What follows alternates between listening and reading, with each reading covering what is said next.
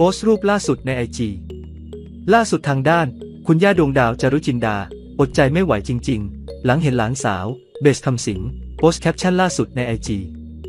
เรียกได้ว่าก่อนเลิกกลายเป็น Talk of the Town หลังยุติความสัมพันธ์สำหรับเบส รักษ์วนีย์คำสิงห์ที่ได้ออกมาประกาศโสดหลังถูกจับตาความสัมพันธ์กับแฟนหนุ่มตงตงกฤษกรท่ามกลางเสียงวิพากษ์วิจารณ์หลังจบความสัมพันธ์แบบไม่สวย ซึ่งต้องบอกเลยว่าตอนนี้เบสคำสิงห์ตั้งแต่ที่เป็นโสดก็ดูเหมือนว่า เจ้าตัวจะสวยเปล่งปลั่งขึ้นกว่าเดิมมากๆ เลยทีเดียว ล่าสุดทางด้านเบสคำสิงห์โพสต์รูปภาพล่าสุด ในอินสตาแกรมส่วนตัวพร้อมกับได้ระบุแคปชั่น เอาไว้ว่าอย่าเพิ่งว่าหนูเจ้าชู้แต่รูปคู่ยังไม่พร้อมลง เนื้อเพลงครับเนื้อเพลง ซึ่งงานนี้คุณย่าดวงดาวจารุจินดาอดใจไม่ไหวจริง ๆ หลังเห็นเบสคำสิงห์โพสต์แคปชั่นล่าสุด ในไอจีได้เข้ามาคอมเมนต์เอาไว้ว่าชอบปุบปดีงามมากหลานป้าทางด้านเบสคำสิง